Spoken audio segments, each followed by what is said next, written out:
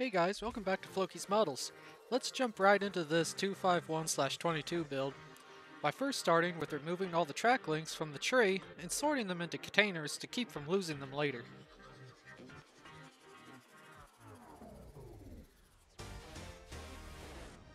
Every track link has three sprue attachment points on them to clean up. A brand new number 11 blade makes fast work of this. I like using this small blade handle that's just a bit over an inch and a half long. I find I have more control over the blade with it. After an hour or so of work, I had the track links cleaned up, and decided to focus on cleaning the two sprue gates up on each one of the track pads. After about another hour, I had the track pads all cleaned up and was ready to start assembling them. These Dragon 251 tracks can be made workable with a bit of patience and careful application of the glue. Just slot one track into the other and add a drop of glue into the hole.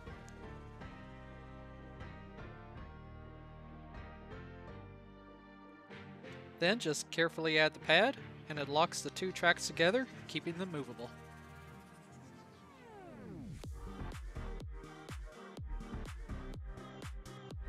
This is when I lost all the video of how I assembled the track runs. First making groups of 2, then the 2 to 4, 4 to 8, etc. till I had enough for run complete track run. The 251s I've built in the past, I needed 54 for one side and 56 for the other, almost like the real 251. And once everything is assembled, we are left with two working track links. I started with the tracks first so I can use them to make sure I have no floating road wheels later on in the build.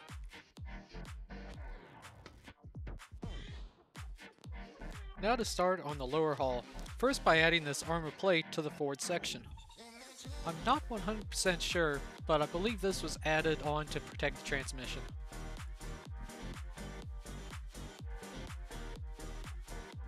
Then to the assembling of the truck wheels. These are very nice two-piece wheels that join together with no visible seam.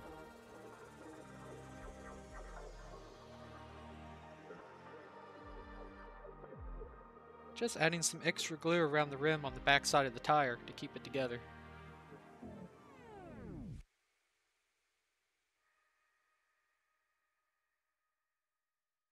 Now onto the front suspension.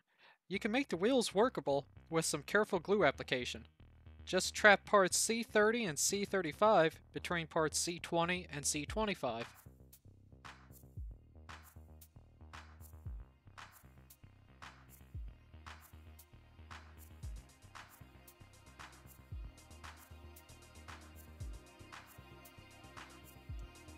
Parts C15 can just snap in place onto parts C30 and C35.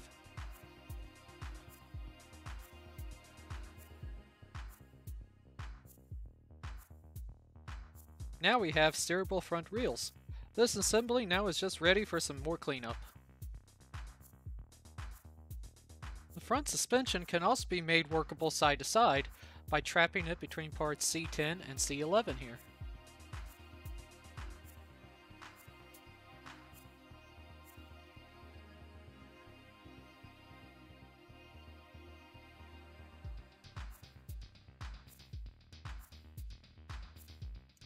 Now I can rock back and forth.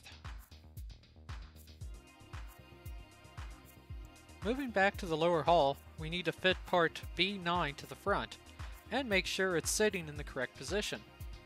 To do that, just dry fit your pieces for the hull sides before the glue fully sets up on part B9.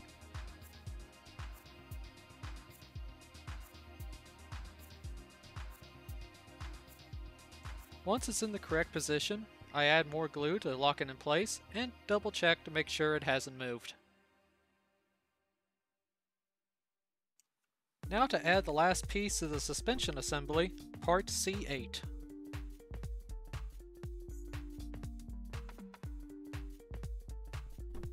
And now that B9 is securely in place, I can add the suspension assembly to it.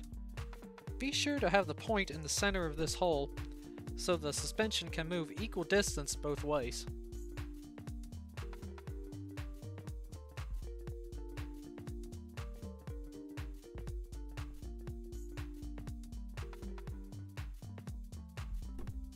Now the workable and steerable suspension is working correctly and in place. Just gonna dry fit the front truck wheels here. They are a nice tight fit.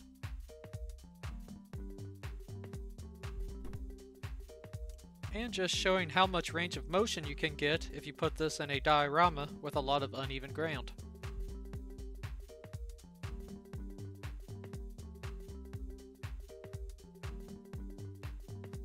This is the swing arms for the road wheels.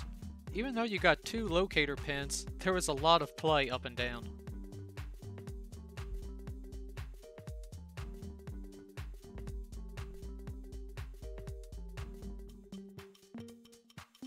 The way I tackle this is use a lot of glue in each hole to keep them pliable long enough to get them all on.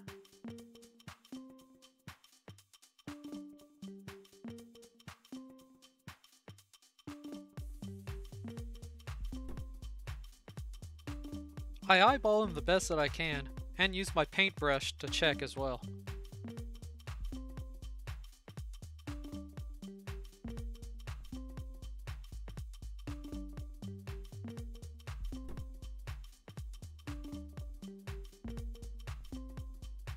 I hurry and dry fit all the road wheels, then set everything on the track runs to make sure nothing is floating.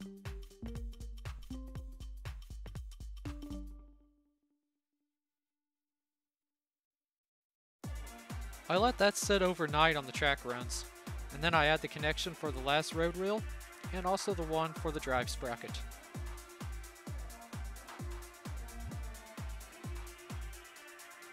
I know it doesn't look or seem like it should be correct, but this gap is supposed to be here. I found that out the hard way on one of my first 251s that I built about 8 years ago. Now let's start on the lower hull floor. The Slash 22 didn't have any radio equipment or even the seat for the radio operator. So using an old pair of side cuts, I cut away at the seat attachment point.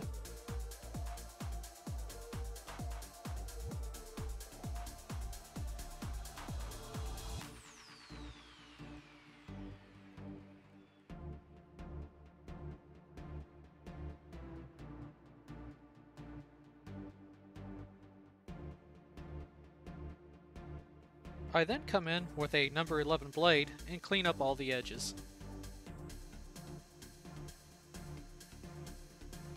Using some styrene sheet, I place the floor on top of it and then trace out the hole.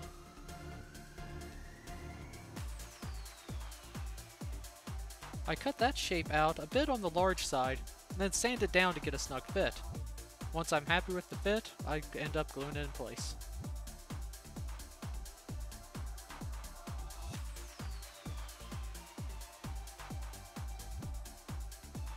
I added another piece of styrene to block the hole in from the back. Then filled the hole with another piece of styrene and glue.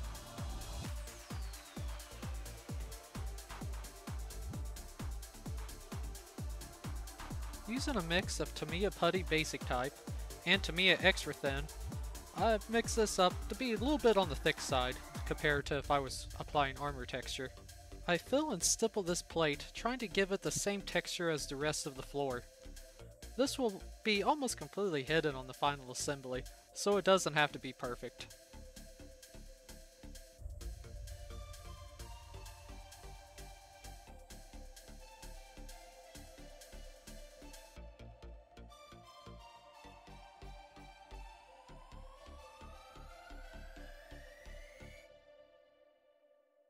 As that dries, I moved my attention to the sidewalls by removing all the locator marks for the many other versions of the 251, using a number 11 blade. And believe me, there's a lot of these marks to remove. To fill in some ejector marks on the sidewalls, I used Deluxe Perfect Plastic Putty.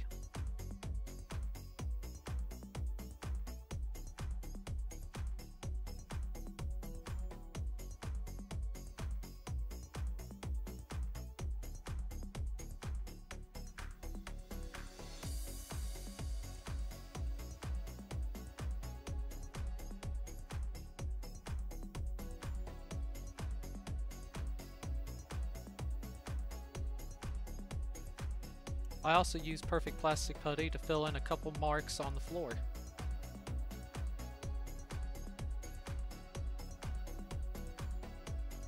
The Slash 22 only has one bench in it, so I have to open up the holes for it using my pin vise.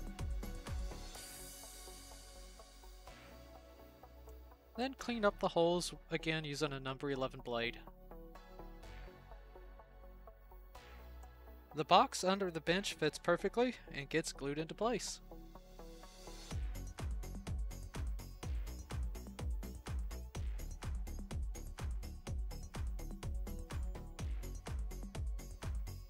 Moving on to the firewall and dashboard by adding all the bits to it. I will paint and add the gas mask canister separately towards the end.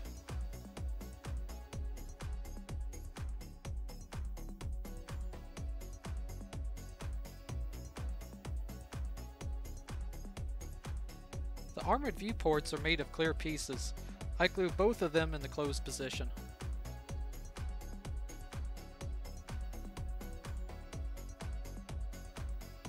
The Slash 22 just has a plate welded over the port which would be the radio operator side, so I scraped and sanded this flush. In hindsight, I should have just cut a piece of sheet styrene to plug this, but eh, I wasn't thinking at the time. Comparing the two sides here, I end up opening up the vision slot completely on the driver's side, but I don't have video of it. Now to glue the floor and sidewalls into place. This has to be all done at the same time because of the mount and play side to side the floor has, as can be seen here.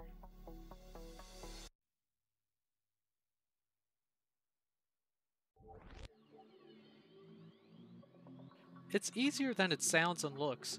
Just line one wall up, and then the other,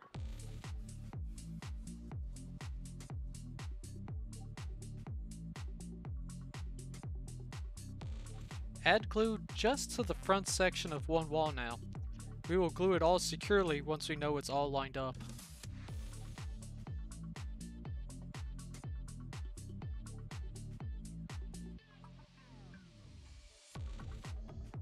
Then, just do the same to the other side wall.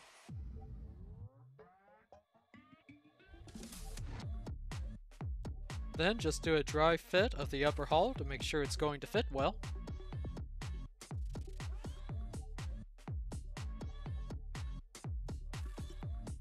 Then we'll end here with just some shots of the sub-assemblies. Thank you all for watching. I really appreciate all you guys who have subscribed and keep coming back to watch these videos.